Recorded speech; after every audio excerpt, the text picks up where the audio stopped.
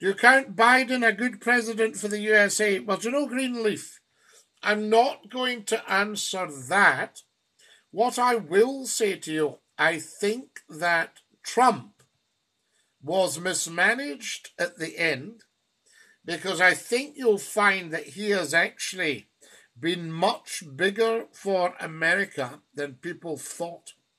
And I don't think he should have been drummed out of the brownies at the end because I think Trump brought great things to America and may well have saved America from its uh, its fate. We'll see what happens with all this um, next step that's happening. Is that the one finger method typing, Scottie? Oh yes, that's why I do a lot in uppercase.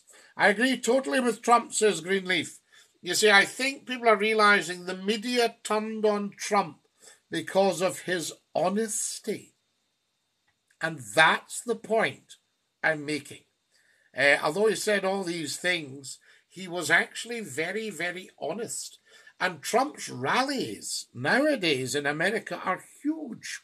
Trump was good for America, and I think he'll be back. I think, John, uh, Trump will be back in uh, a couple of years' time. Uh, Trump had big a big set, Sparky Boy, yes. I'll not mention the word, but he did. He, he, he, he had grown a pair. Uh, the media has too much power. Yes, indeed, and we don't have enough of a variety of media. And this is where everybody should have access to Scottie McClue, and everybody should know about Scottie McClue. But that's up to you guys to get sharing and watching. If Trump was there, Putin would never have done what he's done. Do you know, Sparky Boy?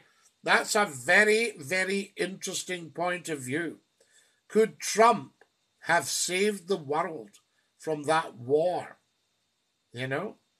Very, very good point. Like it, Sparky. Uh, there's the wonderful Glenn. Good morning, Glenn Peacock. Good morning, Scottie Dinky Doo. Uh, lovely to have you with us, Glenn. And a massive dinky doo. On paper, Trump did a good job. Yes, and on paper is actually the legacy. You know, the media is not the legacy from Trump's point of view. I understand your perspective about Trump, however, he did create a lot of division in the States. Good for us, fam. Yes, he did. Uh, you know, he was divisive. But politics is a bit like that, and politicians like to divide.